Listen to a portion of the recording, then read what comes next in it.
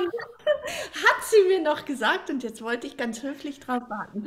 Hallo und herzlich willkommen zur 53. Folge unseres Soul Streams mit dem Thema Was tun, wenn es dir schlecht Hi Katharina, so schön, dass du da bist. Hallo Pascal, ich freue mich auch. Wir haben jetzt drei Wochen Pause gehabt und äh, wir haben gerade schon vorher ausgetauscht, wie sehr wir uns freuen, ähm, dass wir dann Feedbacks bekommen und die Leute fragen, hey, wo ist denn euer Soulstream? Wir vermissen euch schon. Es, war immer so, es ist immer so ein toller Wochenstart und ähm, ja, die Änderung, die jetzt ist, ist, dass wir es zum Mittag ab jetzt machen, also immer um 12 Uhr zum Mittag und nicht mehr am Abend wie vorher. Ey, wunderbar, oder? Es ist noch früher, der, der Wochenstart ist noch früher. Stimmt, stimmt. So kann man das sehen. Habe ich gerade noch ein anderes Licht angeschalten.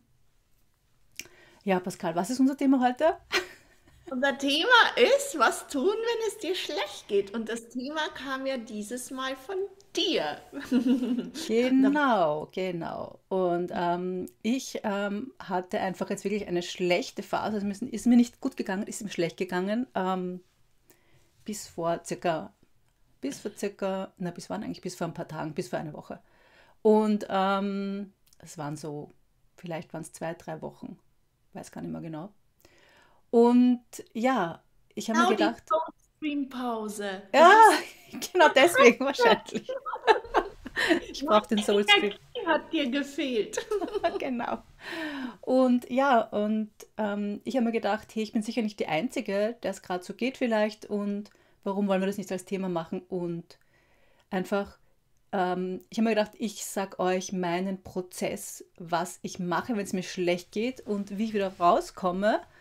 Und, ähm, und vielleicht kannst du daraus etwas für dich mitnehmen. Und ich freue mich natürlich auch, wenn du mir in den Kommentaren schreibst, wie es dir gerade geht. Ähm, wir freuen uns einfach auch, wenn ihr, wenn ihr uns erzählt in den Kommentaren. Auch es gibt die Live-Kommentare für die, für die, die jetzt zum Mittag sogar live dabei sind. Sind, glaube ich, ein paar laut meinen Daten hier. Ein paar sind live dabei. Schön, dass du da bist. Aber auch wenn du die Aufzeichnung anschaust, gibt es darunter die Kommentare und wir freuen uns riesig, äh, wenn du einfach schreibst, wie es dir geht ähm, und was du von der Folge jeweils mitnehmen kannst. Und ähm, ja, natürlich werde ich nachher auch dich, liebe Pascal, fragen, wie du das machst, wenn es Ich dir habe schlecht geht. paar Notizen gemacht, weil mir schon Geistesblitze durch den Kopf. Sehr gut, Geistesblitze haben wir gerne. Ja, vielleicht fange ich einfach damit an und erzähle ein bisschen, ähm, was ich so bei mir beobachtet habe, weil ich kann ja, ich meine, ich weiß nicht, wie es dir geht, Pascal, aber ich kann ja gar nicht mehr unachtsam schlecht drauf sein, sozusagen, sondern ich muss mich immer dabei beobachten und schauen äh, und ganz fasziniert sein von dem, was da in meinem Kopf abgeht. Und ähm, ja, das ist, finde ich, eigentlich jetzt, wo wir darüber sprechen, ist, das ist nicht mehr so dieses, dieses, ähm, Ich bin jetzt scheiße drauf und die ganze Welt muss das fühlen die nächsten drei Tage und ich mache gar nichts.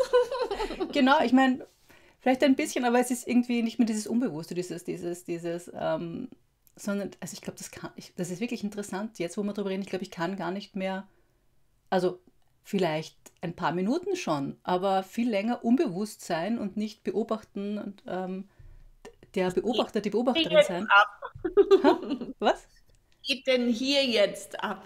Das kenne ich, ja. Ja, genau, genau. Und äh, das ist aber auch irgendwie super. Also ich mag das gerne, weil dadurch ähm, bekommt man, das ist genau das, was wir schon so oft gesprochen haben, über Gefühle. Und es ist ja nichts anderes als, als ein Gefühl, auch in dem, wenn es dir schlecht geht, dann bist du, es ist ein Gefühl der Verzweiflung. Also wenn ich von mir spreche, es schaut alles sehr düster aus, pessimistisch und so weiter, traurig und so weiter, Angst. Und, ähm, und, wenn, und wenn ich in dieser Beobachterinnenrolle bin, dann kriegt man sofort ein bisschen eine Distanz. Ähm, aha, da ist, boah, das sind diese Gedanken, wo ich genau merke, wo ich genau beobachte, boah, die, die tun mir gerade gar nicht gut, aber das ist jetzt mal so. Und, und diese Gefühle, aha, aber dann, und, und dann, dadurch, dass ich die Beobachterin bin, kommt ein bisschen eine Distanz rein und ich bin nicht mehr komplett in dem Strudel drinnen. Und ich weiß vor allem, das kommt und das geht. Und das ist eigentlich eh das Allerwichtigste, was man wissen kann. Du, wir haben jetzt schon einen Kommentar bekommen. Schau an, so früh. Liebe Pascal, liebe Katharina, viele Grüße aus Dresden. Ich freue mich, euch zu sehen und euch zuzuhören. Schön, dass du da bist. Music is my life ist der schöne Name. Aber kann einem gar nicht schlecht gehen, oder? Mit Music is my life. Das stimmt, das stimmt. Musik ist natürlich gleich mal ein praktischer Tipp, was man tun kann, wenn es einem schlecht geht, Musik hören, die einem gut tut. Nein, aber das ist mal, das ist mir jetzt nur beim, beim Reden gerade aufgefallen. Das ist eigentlich ganz witzig, dass es nicht mehr so geht, dass man so komplett unbewusst drin versinkt. Ähm, und eben auch der nächste Gedanke dann immer, okay, wie kann ich das auch, ähm, was kann, wie, wie kann ich das nutzen, um sozusagen der Welt etwas Gutes zu tun, im Sinne von ähm, Leuten, denen es so geht wie mir, ein bisschen zu zeigen, was sind da mögliche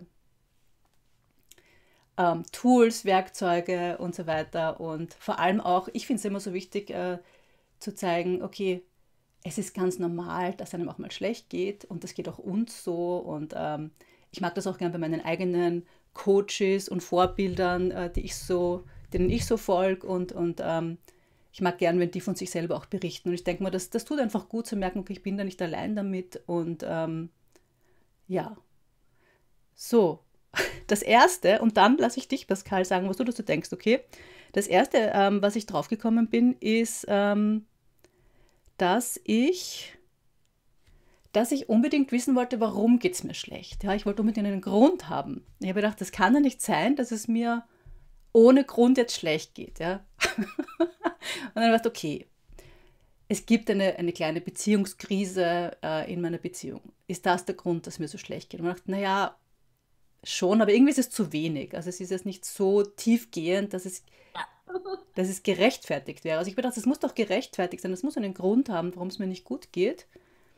Und ähm, mit ein bisschen Abstand von ein paar Tagen bin ich dann draufgekommen und auch mit Coaching. Ich lasse mich ja selber auch coachen und ich bin dann in einem Programm von der Brooke Castillo, ähm, das heißt Get Coached und da habe ich jede Woche 20 Minuten Termine mit verschiedenen Coaches und das ist super praktisch, weil da kann ich immer sozusagen reflektieren und da wurde ich darauf aufmerksam gemacht, dass das, dass das, dass es eine dass es unnötig ist, sich zu fragen, was der Grund ist. Und im Gegenteil, es gibt nur noch eine Schicht dazu, warum man sich dann fertig macht. So nicht nur, dass mir schlecht geht, sondern auch noch, und ich habe keinen Grund, was bin ich für ein blöd, blöder Mensch, dass ich ohne Grund, dass ich mich schlecht fühle.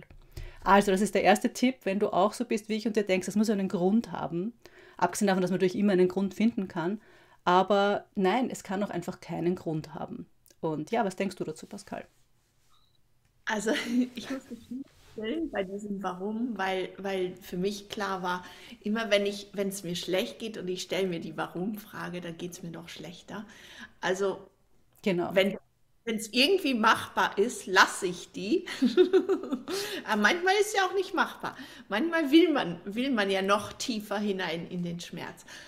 Ähm, also ich glaube, wichtig ist einfach zu wissen, niemand, auch nicht, wenn man auf dieser Bewusstseinsleiter schon ein bisschen hinauf spaziert ist, ist gefeit vor solchen Tagen. Die Frage ist irgendwie, was, was machst du damit? Also, wenn es ein Tag ist, zwei Tage, dann kann man ja mal so das noch irgendwie genießen. Aber genießen. wenn es dann eine Woche anhält, ich, ich frage mich dann tatsächlich immer, ähm, und ganz ehrlich, ich, also so, meine erste Frage an dich wäre gewesen, aber du hast es jetzt schon er erläutert, war es ein, es kann einem ja körperlich schlecht gehen oder es kann einem mhm. emotional, energetisch schlecht gehen. Es war jetzt bei dir eindeutig nicht ein körperliches Schlechtgehen, sondern ein, ja, emotional. Unterschied, mhm. Ähm, dass man das für sich klar hat.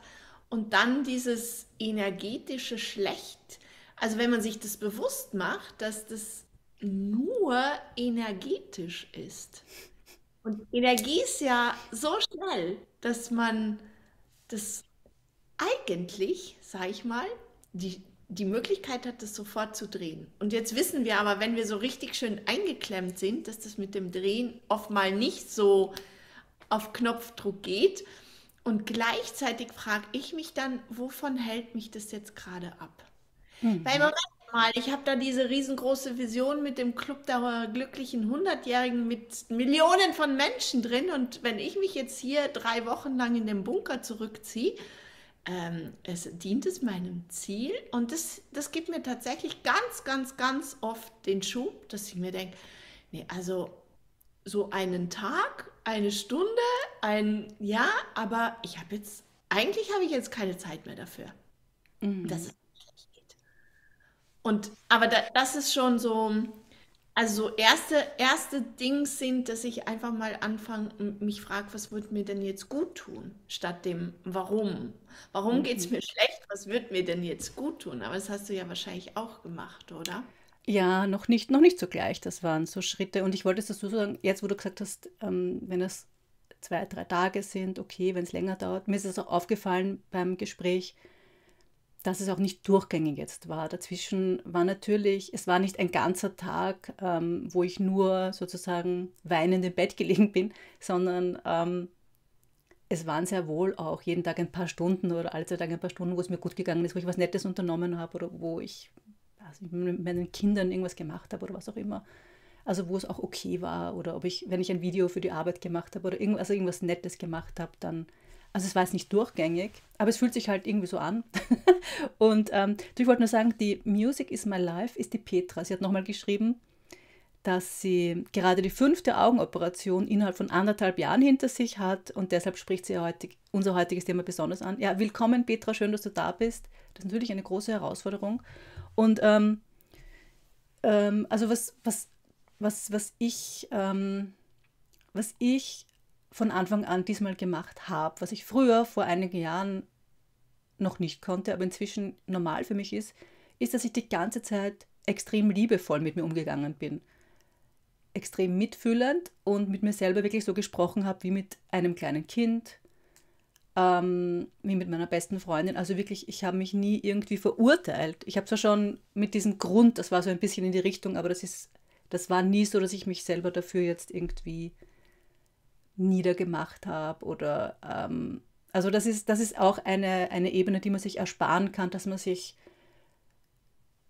schuldig fühlt, dass man sich für, für blöd erklärt, dass man sagt, jetzt reiß dich doch zusammen und so weiter. Also, dass man so streng mit sich redet. Also auch ein Tipp, dass man darauf, darauf hört, mit welcher Stimme spreche ich eigentlich mit mir selber. Bin ich sehr streng? Bin ich böse? Schimpfe ich? Oder, oder kann ich eigentlich auch liebevoll mit mir sprechen? Also wie kann ich mit Mitgefühl ähm, da mit mir umgehen? Und das ist eines, ähm, eines der wichtigsten Tools, finde ich, dass man eben in diesem Selbstmitgefühl bleibt, beziehungsweise sich das angewöhnt, egal was passiert, egal, auch wenn man vier Wochen nur herumliegt und gar nichts macht, auch da weiterhin, es, ist, es gibt keinen Grund, nicht liebevoll mit sich selber zu sein und nicht freundlich, wohlwollend, mutmachend, also richtig mutmachend. Und das habe ich bei mir auch gemacht. Ich habe mir gut zugeredet selber, so wie ich es mir vielleicht gewünscht hätte, dass mein Partner das macht, habe ich das für mich selber gemacht. So, hey, das wird schon wieder, du schaffst das, ich glaube an dich. Irgendwann bin ich draufgekommen, dass mir die Worte ich glaube an dich total gut tun. Das habe ich dann öfter, öfter zu mir gesagt und einfach ganz, ganz, ganz liebevoll.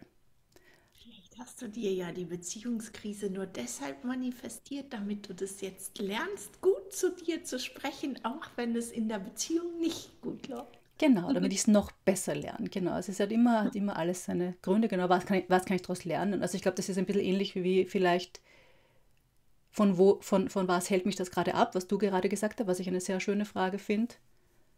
Weil eben man kann sich auch von irgendwas ablenken damit, ne? Also von etwas, was gerade eine wichtige, was gerade dran wäre im Leben und was aber irgendwie vielleicht ein bisschen schwierig ist und um sich überwin überwinden muss oder so. Und eben auch, was kann ich daraus lernen? Ähm, und in meinem Fall natürlich noch mehr, wie kann ich mich um mich selber kümmern und nicht darauf warten, dass irgendjemand anderer das für mich macht. Ähm, und dann ist natürlich genau das, was, was wir bei den Gefühlen schon so oft besprochen haben, einfach durchfühlen. Ne? Also den, den Widerstand loslassen, dass es jetzt so ist. Also das habe ich bei mir auch beobachtet. Am Anfang war natürlich ein, ein, ein großer Widerstand, eh ganz normal. Ah, das will ich jetzt überhaupt nicht, das brauche ich jetzt überhaupt nicht und ähm, gibt ja keinen Grund und so, kann sich einfach gut drauf sein. Schau mal, wofür du alles dankbar bist und was alles gut ist in deinem Leben und so weiter. Aber ich habe gemerkt, das führt mich nicht wirklich weiter. Und dann habe ich mich daran erinnert, ah ja, stimmt, ähm, ich fühle das durch, ich schaue, ich, ich, ich erlaube die Gefühle, ich gebe ihnen Raum, ich lasse sie da sein. Ich bin nicht böse auf meine Gefühle, auch nicht auf die unangenehmen, sondern ich weiß,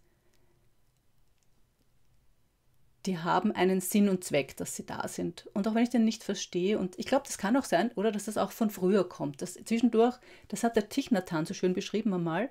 Das ist so ein, ein Autor, ein, ein buddhistischer Mönch, der ganz schöne Bücher geschrieben hat zur Achtsamkeit. Der hat das mal beschrieben, ähm, dass so wie das Blut durch den Körper fließen muss, damit wir nicht krank werden, dass keine Stagnation entsteht, so müssen auch die Gefühle durch den Körper fließen und ähm, wie in der TCM, wie wir das vom Qi kennen. Gefühle sind auch nichts anderes als Qi, als Energie, die durch den Körper fließt. Und wenn wir reinspüren, wie sich die anfühlen, dann merkt man das auch. Das bewegt sich, das wird größer, kleiner ähm, und so weiter und so fort. Und ähm, wenn wir diesen Widerstand loslassen und dem, den Gefühlen erlauben, eben durchzufließen und wirklich gefühlt zu werden, dann werden sie mit der Zeit leichter. Und das habe ich jetzt auch wieder mal hautnah erlebt.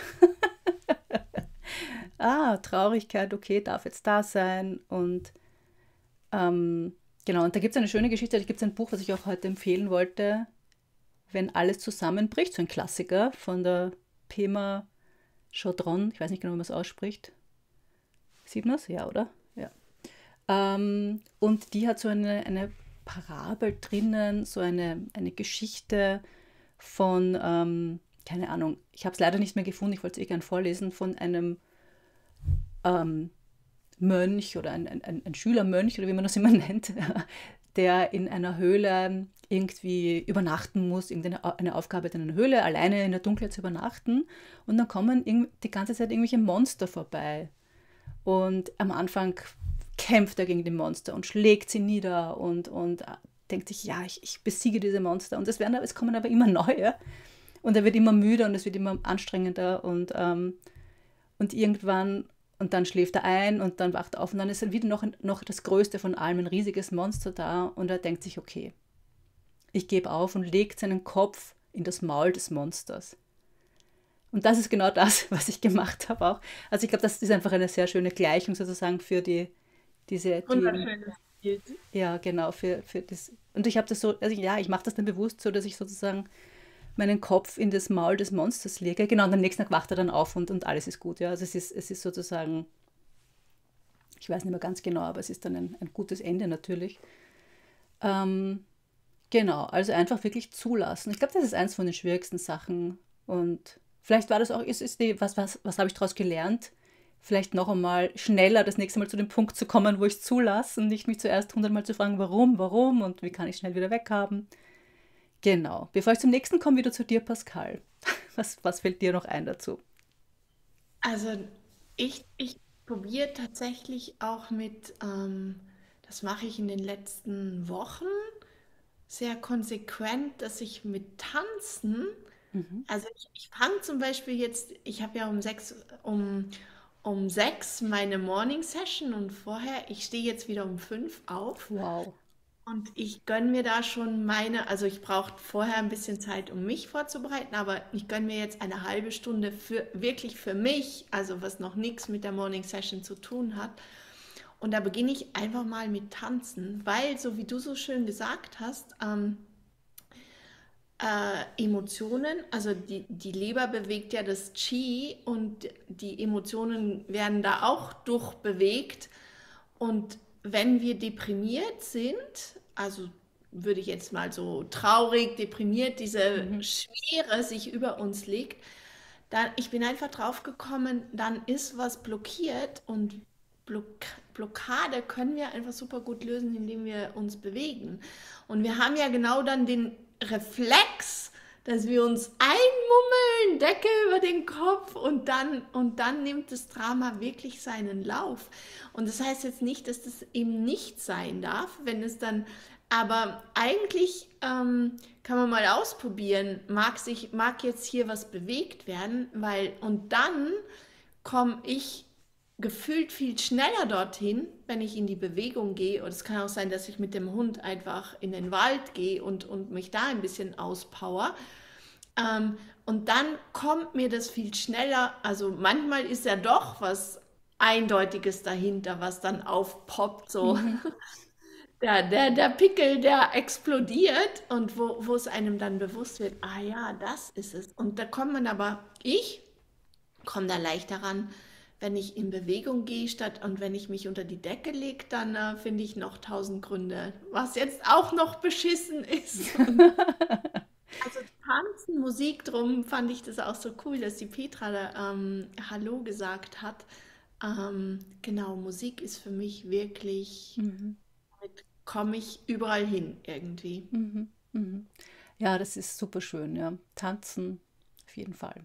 Habe ich auch total gern. Ah, genau. Meine nächste Erkenntnis war dann, ähm, dass ich von mir selber erwartet habe, dass wenn ich das jetzt einmal ordentlich durchfühle alles, aber dann ist es erledigt. Dann darf das nicht mehr kommen. Ab dann bin ich gut drauf wieder, oder? Das müsste doch eigentlich dann ja ein Tag, zwei Tage durchfühlen und erledigt. Nur ist es dann wiedergekommen und dann war ich sauer auf mich selber und dachte, wieso? Jetzt habe ich doch eh schon, habe ich irgendwas falsch gemacht, habe ich es doch eh schon so super durchgefühlt und den Widerstand losgelassen und den Gefühlen ihren Raum gegeben und sie gesehen und in den Arm genommen. Und ähm, da bin ich dann auch ähm, drauf gekommen mit Hilfe des Coachings, dass das keine sehr ähm, nützliche Erwartungshaltung ist, sondern eh, Gefühle sind Gefühle, wollen gefühlt werden und da gibt es kein, ähm, das, ist, das geht nicht, wie sagt man, mathematisch so fünf Stunden und dann ist es erledigt, sondern die kommen und gehen und ähm, auch hier den Widerstand loszulassen. Aha, okay, da ist es, da ist es wieder, ist okay, warum nicht? Ja? Dann bin ich wieder eine halbe Stunde mit meiner Traurigkeit und dann geht der Tag auch weiter. Und also eigentlich diese Erwartungshaltungen an mich selber sind mir da so bewusst geworden. Das habe ich jetzt daraus gelernt, irgendwie dieses einerseits, es muss einen Grund geben, dann, wenn ich es richtig mache, dann muss es aber auch schnell erledigt sein. Ich weiß ja, wie es geht und dann ähm, sind diese Gefühle auch wieder weg und dann geht es mir wieder gut. Und ähm, genau, also das war auch noch so eine Erkenntnis, dass, es, dass das okay ist, wenn es auch mal wiederkommt und dass es eigentlich wie Wellen ist. Es kommt wie wenn man am Meer steht, die Welle kommt und dann geht sie wieder und dann kommt sie zwischendurch und dass es okay ist. Ja, das ist auch entspannend zu wissen. Ich, also ich merke, dass, dass es mich oft erwischt, in, also davon abgesehen, dass ich, glaube ich, fast täglich irgendwie mal angerührt bin und weine, aber so im, so im Positiven, also weil mich was einfach wirklich berührt, und seit ich mir das erlaube, ist dieses, dieses Fass, wo ich vorher immer den Deckel drauf gehalten habe, dass ich ja nicht weinen muss, ist es eigentlich viel, ja, es ist einfach wieder normal geworden. Also es ist weniger intensiv. Ähm, und wenn dann aber so eine Stimmung ist, dann finde ich es immer total beruhigend, ähm, zu, dann zu schauen auf diversen Portalseiten, astrologisch oder so, ah, es ist gerade kollektiv so eine Schwere, weil der Saturn und der da, da, da und da, da, da. Und dann denke ich mir immer, okay, es hat gar nichts mit mir zu tun, es darf jetzt einfach sein. Und, und mhm. dann komme ich zumindest aus diesem Gegrübel raus, dann, weil dann ist es für mich einfach so, okay, wenn das jetzt gerade dran ist, dann ist es halt dran, super. Und ich, ich denke, das stimmt ja für uns beide, und das stimmt vermutlich auch für unsere Zuschauerinnen, dass, also, dass wir halt schon eher besonders sensible Wesen sind. Das heißt, ähm, wenn so, also ich erkläre das immer so mit, mit wie so, es gibt so Energiewolken, so wie die Christbaumkugeln am, am Baum in verschiedenen Farben vielleicht, so gibt es Energiewolken mit verschiedenen Gefühlen, die da über uns ziehen. Und wo hast du jetzt gerade deinen Anker reingeworfen? Also, ähm, und das hilft auch, dass man sagen kann, aha, ich habe den da reingeworfen, na dann schaue ich mal, ob ich ihn vielleicht wieder rauskriege und vielleicht in da hinten, die glitzert und schimmert schöner, dann werfe ich ihn da mal rein. Aber ebenso sich dieses Bewusstmachen, es hat gar nicht immer wirklich mit dir zu tun. Mhm. Manchmal kaufen wir uns auch in einer, es ist Herbst, die Tage werden spät, aber doch in Wien jetzt auch, fallen endlich die Blätter von den, also so spät war das noch nie, oder? Das ist schon. Ähm, mm, hat lang gedauert, ja. Ähm, das heißt, es ist einfach die Zeit, wo man in sich kehrt und es ist gerade turbulent in der Welt. Also das, das muss wirklich nicht mit einem persönlich zu tun haben, wenn es einem gerade mal schlecht geht. Mhm. Dann aber auch daraus wieder diesen, also ich, ich habe dann auch schnell diesen Mut wieder, dass ich mir denke, okay, ja, und gut, dann ich bin die Pionierin, mal wieder voraus und klingt mich wieder in die gute Wolke ein. Genau. Ja, ich meine, das, äh, das klingt total schön, dieses Bild. Und ich merke, dass ich ein bisschen, dass ich dich ein bisschen beneide darum, dass du das anscheinend, dass du das irgendwie äh, die Kunst äh, besser beherrscht als ich, dass du dich da bewusst wieder in die positive Energiewolke einklingst. Das glaube ich weil ich, ich glaube, dass, also du bist grundsätzlich aus meiner Wahrnehmung, wir sind jetzt nicht täglich zusammen, aber aus meiner Wahrnehmung bist du ein extrem sonniges Gemüt. Und vielleicht erwischt es, ich glaube, ich habe relativ viele solche Schwankungen. Drum ist es für Mhm. mich vielleicht gar nicht so. Das kann sein, weil du auch gesagt hast, ich meine, ich wollte auch sagen für unsere Zuseherinnen, äh, weil Pascal vorher gesagt hat, dass sie jetzt gelernt hat, dass es okay ist, auch zu weinen und sich berühren zu lassen, auch posit also von positiven Dingen auch und einfach ähm, diese Gefühle zuzulassen. Da haben wir eine eigene Folge dazu gemacht. Ähm, mehr fühlen, glaube ich, hat das geheißen. Ich glaube, wo die Pascal damals erzählt hat, eben, ähm, dass sie als Kind da eher sich so, so als Heulsuse ähm, abgestempelt worden ist und Weinen eher nicht so erlaubt war und dann, wie sie gelernt hat, sich das, sich das zu gestatten, wie das, wie das ihr Leben auch verändert hat. Alle bisherigen Folgen findest du hier drunter, da kannst du das nachschauen. Ich glaube, das war jetzt die vorletzte oder vorvorletzte Folge. Und ähm, ja, ja, ja, das stimmt schon. Das wird schon, das wird schon stimmen. Ich bin mehr so normal, so gleich, ein bisschen gleichmäßiger und du bist wahrscheinlich mehr, du hast mehr die Höhen und Auf ähm, hoher See. genau, mehr vor höhere Wellen als ich, genau. Ja, na, ich muss sagen, ich habe schon, ähm, ich war früher, weil du sagst, sonniges Gemüt finde ich witzig, weil ich war früher, und ich, ich habe es immer noch in mir, ich habe schon so, ich habe ich hab eine gewisse Melancholie, traurige Grundstimmung, ein bisschen depressive Verstimmung, ähm, Neigung dazu. Und ähm, ich habe aber eben gelernt, mich dem nicht, ähm, ja, also anders damit umzugehen und, und mehr mich so zu fühlen, mich, wie ich mich fühlen will, nämlich eben sonnig und fröhlich und dankbar und das Leben genießen. Aber das war ein Prozess. Also wenn ich jetzt sonnig rüberkomme, dann freut mich das. Kurz, du sagst so, wie ich mich fühlen will, ähm, sonnig und gut gelaunt. Ich, ich glaube nicht, dass das was mit Wollen zu tun hat. Ich glaube tatsächlich, dass es unser Grundnaturell ist, dieses freudige Wesen. Ich glaube nicht, dass irgendein Mensch ähm, vom Typus her Miesepeter geboren wird, um Miesepeter zu sein. Ich, ich glaube, das sind wirklich die Umstände, in die wir Ja, reingeboren werden, natürlich. Konditionierungen, die an uns kleben. Mhm. Aber ich glaube, es ist unser Geburtsrecht, sonnig und lebensfroh und leidenschaftlich und begeistert durchs Leben zu gehen. Auf jeden Fall. Und je mehr wir da von diesem Müll aufräumen, je mehr von dieser Ritterrüstung an Konditionierung wir abstreifen, desto leichter wird es einfach auch und desto schneller ist man, ist man im, im Normalfall wieder dort. So kennst du es ja auch. Mhm. Und mal waren jetzt vielleicht mehrere Dinge, die zusammengekommen sind. Und, und ich, ich, also ganz ehrlich, habe ich das Gefühl, dass gerade wirklich das Universum so heftig an uns rüttelt und sagt, ja, ja, du bist schon super unterwegs, aber jetzt, bäm, schau mal da. Also, und das ist so eine Einstellung, wo ich, also es, es gibt ja dann keinen schlechten Tag mehr. Man kann sich ja dann freuen, wenn man nicht so gut drauf ist, was will das Leben mir jetzt wirklich, also nicht, warum bin ich jetzt schlecht drauf, sondern was gilt es hier für mich zu erkennen? Ich habe ich hab eh ganz fest an dich gedacht, immer wieder, Pascal, weil dein, was du mir bei unserer Lesereise mal gesagt hast, dieses Ja zu sagen zu allem, was ist, egal was ist, einfach Ja. Und das habe ich dann immer wieder versucht auch. Und da habe ich immer an dich gedacht, das war sehr gut.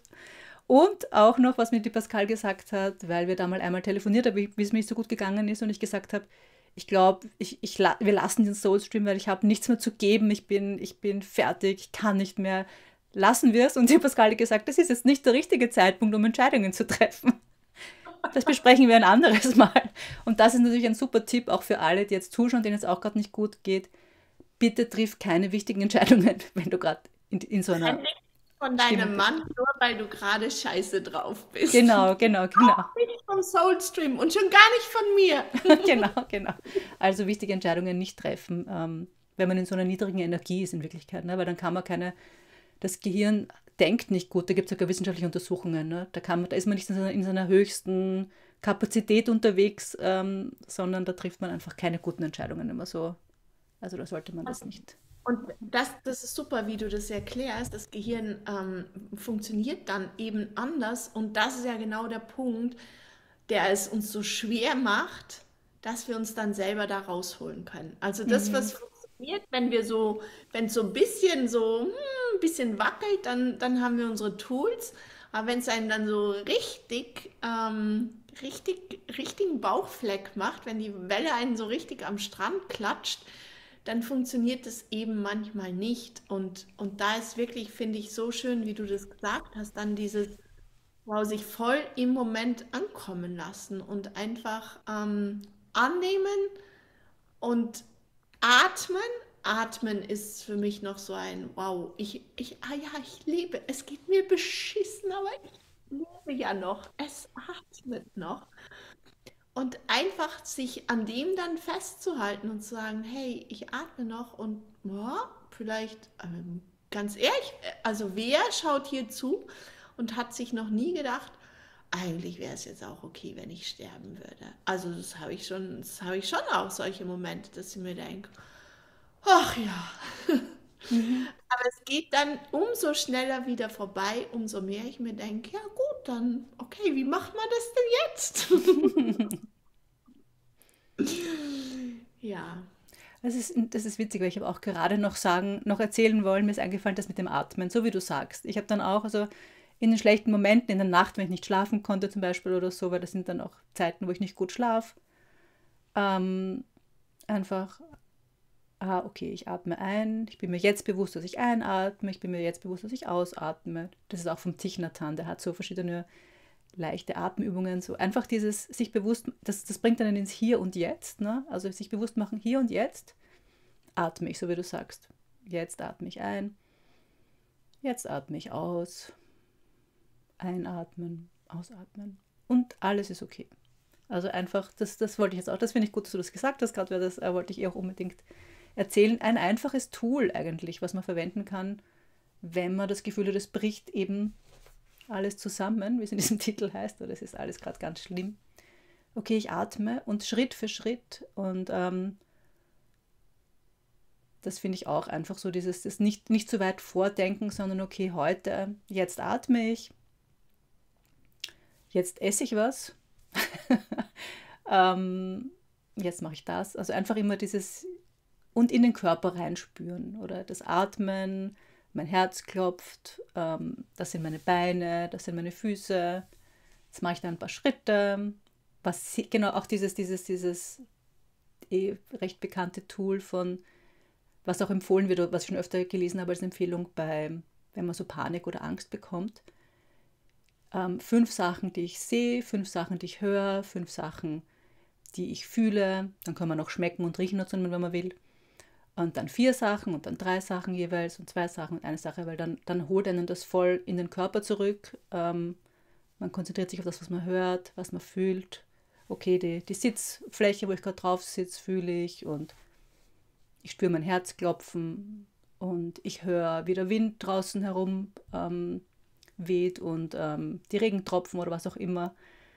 Und ich sehe das Bild an der Wand und ich sehe die Lampe das bringt einen einfach zurück in, ins, ins Hier und Jetzt auch und, und raus aus diesen Gedankenspiralen, mit denen man sich selber sehr, sehr gut Angst machen kann. Ne? Also ich, ich, ich muss jetzt denken an, wir haben ja auch mal eine Folge über Eckhart Tolle gemacht und mhm. er sagt ja immer so schön, dass man quasi in so einem Moment am besten von außen auf sich drauf schaut, um, um sich selber bewusst zu machen, dass dieser Körper, der jetzt da elendig vor sich hin jammert, dass man das ja gar nicht selber ist. Also das, das, das Bewusstsein ist ja viel größer. Ähm, das finde ich ist schon mal gut, so zu sehen, hey, auch dieses Gejammer ist jetzt eigentlich eine Illusion. Ich, ich kann, ich könnte jetzt was anderes wählen. Ich könnte es.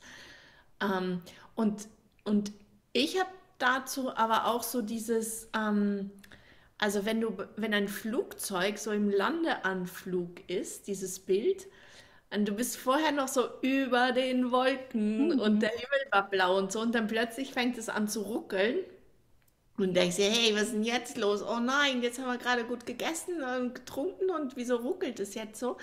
Dann, dass du einfach dir da nicht dich verkrampfst und sagst, oh nein, warum ruckelt es jetzt so?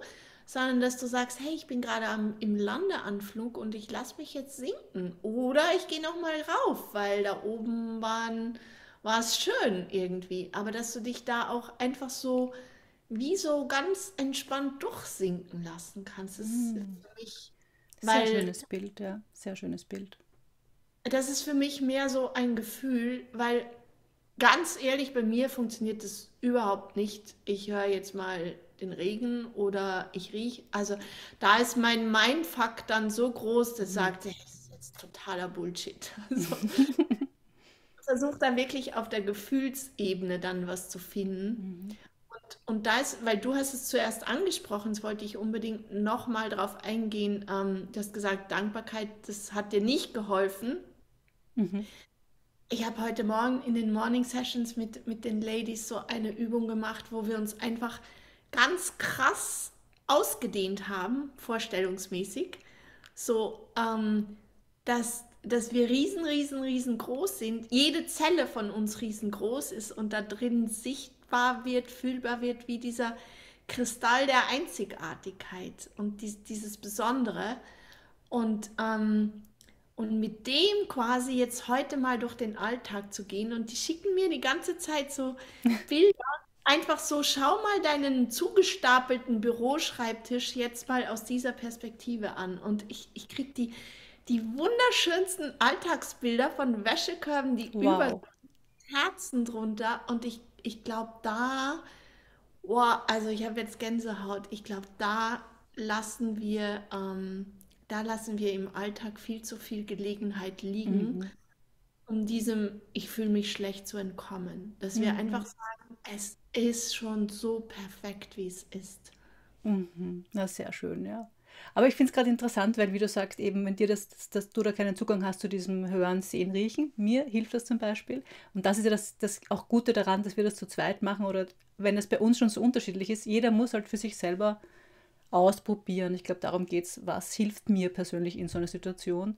Und ähm, wenn, wenn du gerade zuschaust, vielleicht kannst du dir eben, nimm dir das, was dich anspricht, probier es mal aus und dann probier was anderes aus. Und wenn es nicht funktioniert, dann probier was anderes aus.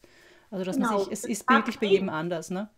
Genau, nicht, also das finde ich auch ganz wichtig, nicht zu glauben, ja, aber das hat Katharina und Pascal, die sagen ja sonst so schlaue Dinge und ich mache das jetzt und ich mache das zum zehntausendsten Mal, aber bei mir funktioniert es, dann lass es, ja. Es gibt so viele Tools und beim einen funktioniert das andere super. Genau.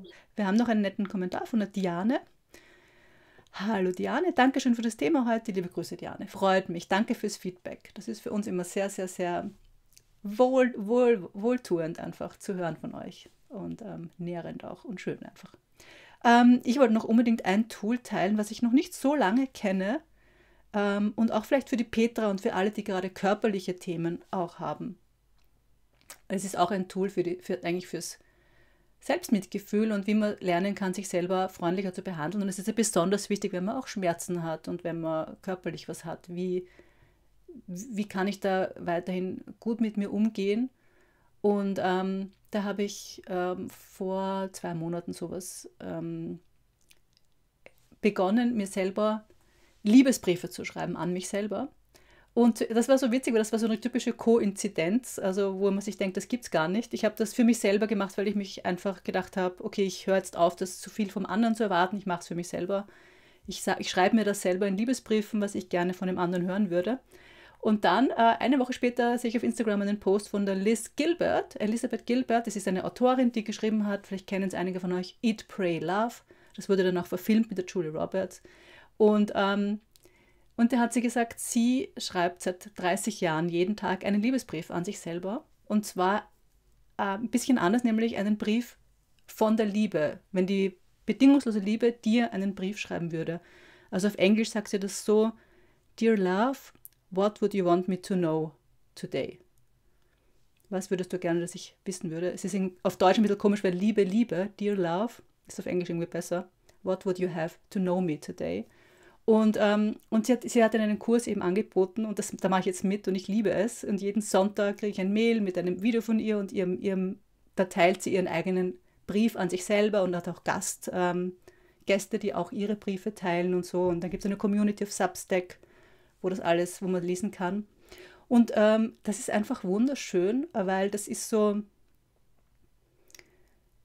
die Liebe, die sagt nie zu dir, reiß dich zusammen und jetzt mach mal und jetzt ähm, geh raus und jetzt ähm, komm, du musst, du musst mehr für die anderen da sein und, und, und so weiter. Die Liebe, die sagt einfach wundervolle Dinge und das, das ist so witzig bei dieser Community, mh, mm, da spricht Elise Gilbert auch darüber, dass es eben sowas auch so was Kollektives hat. Ja? Also das, das sagt ungefähr zu jedem dasselbe, die Liebe. Ja? Also es ist nicht irgendwie, ähm, ja, es ist immer so, gönn dir mal ausruhen, verlang nicht so viel von dir selber, du bist wertvoll, egal was ist und so weiter und so fort. Und ähm, das ist eine schöne Praxis und ich denke auch für alle, die mit dem Körper eben zu tun haben, kann man dann auch ähm, dem Körper einen Brief schreiben, der Liebe zum Beispiel. Ja? Was, was würde die Liebe deinem Körper sagen? Was, was tut deinem Körper gut, etc. Also das ist so ein, ein wunderschönes Tool, was ich jetzt für mich entdeckt habe und was ich auch weiter, nicht jeden Tag, aber zweimal die Woche und, oder so mache ich das. Und hat es, hat es in dieser Phase jetzt funktioniert? Ja, also ich habe es ein bisschen seltener, aber ich habe es trotzdem weitergemacht und das war sehr wohltuend. Das war eines von verschiedenen Dingen, die ich versucht habe und die schon gut getan haben.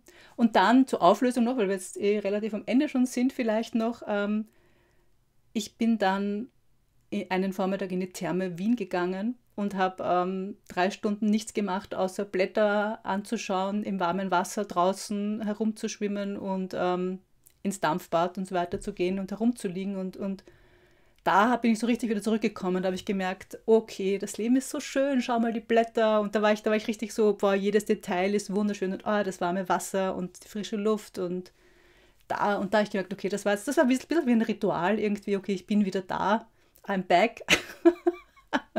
aber ich denke, es waren einfach mehrere so Schritte. Aber dieses, dieses äh, Liebesbrief an sich selber schreiben ist auf jeden Fall wunderschön, finde ich. Auch ein, also, ich war heute im Shiatsu, also. Also das, das sind ja alles Dinge, wo dann eben auch unser Körper von jemand anderem berührt wird und so. Ja, das, das ist nährend, nährend und, und tut, tut gut, ja. Genau, und ähm, ich denke, ich habe eine Zeit lang, ich habe früher mal hab ich so, ein, so, ein, so ein Kästchen gemacht ähm, mit so Kärtchen drinnen, was tut dir gut, damit ich nicht drauf vergesse. Und in solchen Situationen kann man dann sowas rausziehen und sagen, okay, ah ja, stimmt, dieses und jenes Lied anzuhören tut dir gut zum Beispiel. Oder zu tanzen tut dir gut, weil oft vergessen wir, in der Situation sind wir so in unserem Sumpf drinnen, dass wir an das alles nicht denken und äh, wir eigentlich nicht wissen, was wir tun sollen. Und das ist auch vielleicht etwas, was man probieren könnte, wenn es dir gut geht, legst du so ein Kistchen an mit äh, Ideen, was dir gut tun könnte in so einer Situation. Vielleicht ist es auch etwas, was hilfreich sein könnte. Ich glaube, wir haben sogar mal in meiner Facebook-Gruppe so einen Brainstorm gemacht. Das sind über 60 Dinge, mhm. die man um sich wohl zu fühlen. Was mir noch hilft, tatsächlich so als ähm, Schlussding ist, also ich bin ja ein sehr visueller Mensch auch und ich gehe gerne auf Pinterest, weil also für mich funktionieren wirklich nur Dinge, die mein emotional bist du ja aus dem Gleichgewicht. Also braucht es was, was meine Emotionen anspricht und, und der Kopf, der, der haut, der haut da einfach, der haut das alles raus.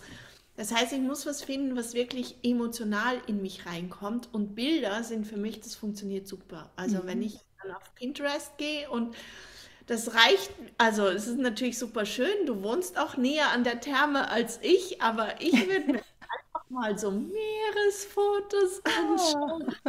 Oder Bäder, Badewanne, da gibt es so Badewannebilder mit Rosen drin und so. Und das, also ich kann das so in mich reinlassen, aber eben nochmal ähm, einfach zu schauen, für welche Frequenzen bist du zugänglich, ja? Also nimm dir die Tools, die für dich funktionieren. Genau. Ah ja, und eins noch, was auch wichtig für mich war, ist einfach wirklich auch, mich mit Freundinnen, Freunden zu treffen. Also dem nicht nachzugeben, dass ich gar nicht mehr rausgehe, sondern ich habe schon ganz bewusst dann jemanden angerufen und gesagt, hey, hast du Zeit, können wir uns treffen? und habe gemerkt, auch das hat mir sehr, sehr gut getan. Also auch sich zu trauen, sich auch zu öffnen jemand anderem, also einem vertrauten Freund, Freundin, ist natürlich super, wenn man das hat und wenn man das kann und geteiltes Leid ist halbes Leid. Eine Floskel zum Abschluss. Die aber stimmt, finde ich. Vermehrtes Leid. das kann natürlich auch sein, stimmt. Es gibt das andere auch. Wenn man zu viel drüber redet, dann wird es nur Ärger. Nein, aber ich habe jetzt nicht so viel. Aber es war einfach dieses, okay, auch zu sehen, es gibt ja noch ein anderes Leben draußen. Weil das wird ja auch, es, man, man, nimmt sich selber auch dann so wahnsinnig wichtig, finde ich. Ne? Es ist dann so ja, im Mittelpunkt. Ja. Und, und wenn man dann wieder andere Leute trifft und sieht, okay, da gibt es auch noch, der hat auch noch seine, der hat auch seine Themen und der erzählt was und da, da passiert auch was in, in dem Leben, was nichts mit mir zu tun hat, ähm, das tut einfach auch gut. Also ich, ich glaube ja so, ähm, ich gehe zum Beispiel gerne live dann, Ah ja. weil ich habe, okay, dann ich kann jetzt jemand ein Beitrag sein und ich glaube tatsächlich Ja, dieses, wenn ich mir selbst nicht helfen kann, dann helfe ich halt mal jemand anders, aber nicht aus total. dem ich muss das jetzt machen, sondern einfach, wow, das gibt mir wieder ein gutes Gefühl Ja, und ähm, ja. ja, das stimmt. Das ist eine Win-Win-Situation. Gut, Pascal, ich überlasse dir den Abschluss. Hey, dann würde ich sagen, vielen, vielen Dank für diesen wundervollen Austausch zum Thema Was tun, wenn es dir schlecht geht. Ähm, unsere da- 53. Folge und wir sehen uns in zwei Wochen, Montag um 12 wieder. Und dann haben wir beschlossen, bis Weihnachten jede Woche. Ähm, also gerne nächsten Montag um 12 wieder live dabei. Tschüss.